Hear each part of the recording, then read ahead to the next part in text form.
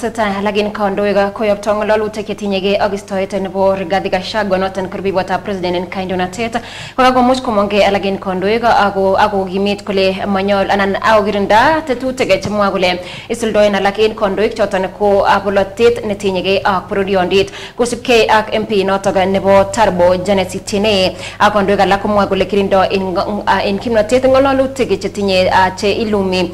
Bororiondit en mwa kole nyolu kituyo emoni ak kituyo bororiosiek tugul en kibagenge akot konoton kaimuch kokochi kurset kandoik chebo emoni koker kole kaimuch kokochi kosubet president nebo emoni Dr. William Samoei Ruto missing ko en tetutik chik chebo keker kele kakimuch kituyo ak kichomyo bororiosiek cheterter chemeng'ishe en emoni tutakuwa ni watu wa utengamano, tutakuwa watu wa amani, tutakuwa watu wa upendo na watu wa umoja.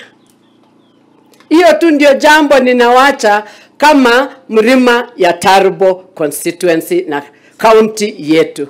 we will not accept kama viongozi ni kuuza ama kuuziwa ukabila.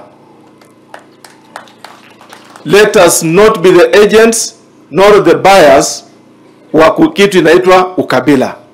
Naungana na wewe na viongozi wote kwamba Mheshimiwa Ruto 2013 vile Mheshimiwa Malula amesema, mimi niliingia kwa chama cha Mheshimiwa Musalia Mudavadi, lakini immediately tuliingia bunge tukakuja kukaa na Mheshimiwa Ruto.